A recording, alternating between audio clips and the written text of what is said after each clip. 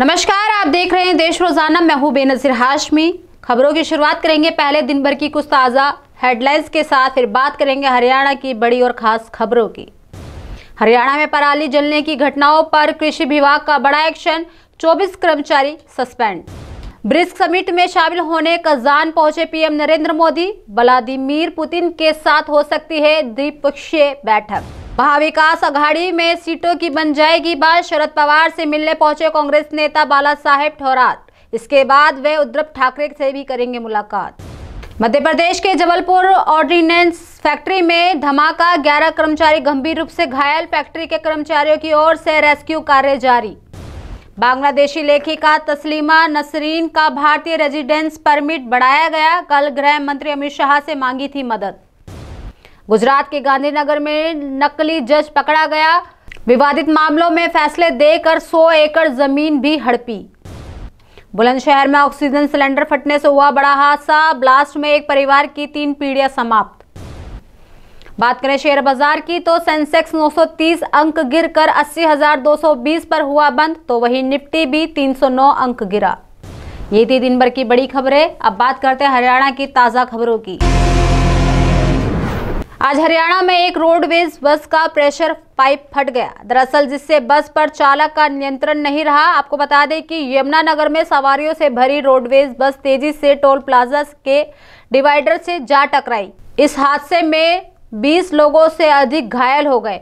वहीं घायलों को अस्पताल में भर्ती कराया गया, जहाँ पर कुछ को मामूली चोट होने के कारण प्राथमिक उपचार के बाद वापस भेज दिया गया। आपको बता दें कि यह हादसा थाना छप्पर क्षेत्र के मिल्क माजरा टोल प्लाजा के पास हुआ।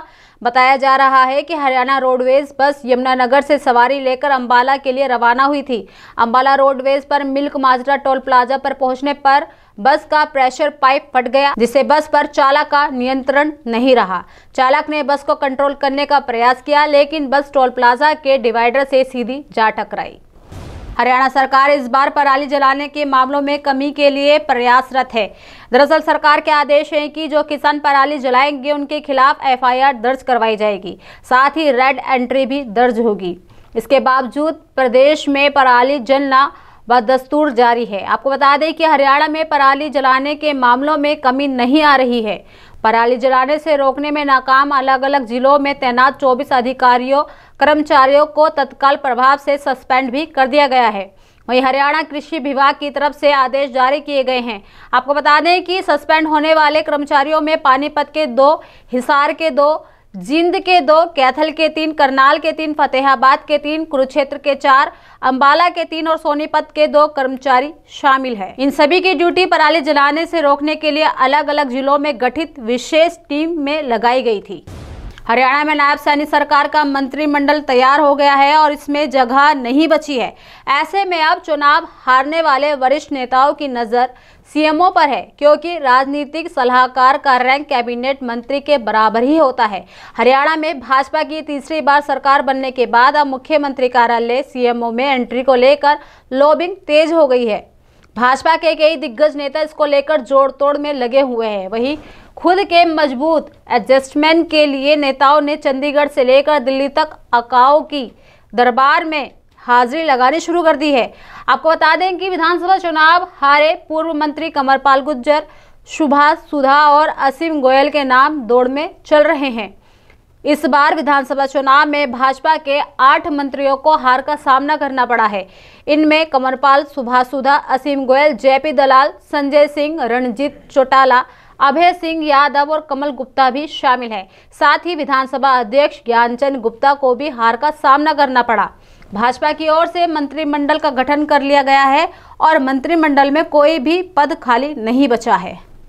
हरियाणा में रिटायर्ड आईएएस अधिकारी राजेश खुल्लड़ को मुख्यमंत्री नायब सैनी का चीफ प्रिंसिपल सेक्रेटरी सीपीएस लगा दिया गया है। दरअसल इस बार उन्हें कैबिनेट का रैंक नहीं दिया गया। इसे लेकर सोमवार रात चीफ सेक्रेटरी टीवीएसएन प्रसाद की तरफ़ से ऑर्डर जारी हुए। आपको बता दें कि तीन दिन पहले भी खुल्लड़ के सीपीएस की नियुक्ति के ऑर्डर जारी हुए थे, तब उन्हें कैबिनेट का रैंक भी दिया गया था। हालाँकि चार घंटे बाद 12 बजे चीफ सेक्रेटरी ने उस आदेश पर रोक लगा दी थी। वहीं अगले दिन सुबह ये बात सामने आई कि तीन सीनियर कैबिनेट मंत्रियों ने खुल्लड़ की नियुक्ति का विरोध जताया था। उनका कहना था कि अधिकारी को कैबिनेट का रैंक देना गलत है। खुल्लड़ 31 अगस्त 2023 को रिटायर्ड हुए और और रिटायरमेंट के 24 घंटे के अंदर ही उन्हें तत्कालीन सीएम मनोहर लाल खट्टर का चीफ प्रिंसिपल सेक्रेटरी नियुक्त कर दिया गया था। तब उन्हें उन्नीस सौ बयासी बैच के वरिष्ठ रिटायर्ड आईएएस अफसर डीएम देसी की जगह ली थी। लोकसभा चुनाव से ठीक पहले जब बीजेपी ने मनोहर लाल खट्टर की जगह नायब सैनी को हरियाणा का नया सीएम बनाया था, तब राजेश खुल्लड़ ही उनके चीफ प्रिंसिपल सेक्रेटरी रहे। तो ये थी दिन भर की ताज़ा सुर्खियों के साथ। हरियाणा की खास खबरें। कल फिर होगी मुलाकात, ऐसी ही कुछ खास और बड़ी खबरों के साथ। तब तक के लिए बने रहिए हमारे साथ और देखते रहिए देश रोज़ाना। नमस्कार। हमारे साथ जुड़े रहने के लिए देखते रहिए देश रोज़ाना का यूट्यूब चैनल सब्सक्राइब कीजिए। साथ ही देश रोज़ाना की खबरें सबसे पहले देखने के लिए प्रेस कीजिए बेल आइकन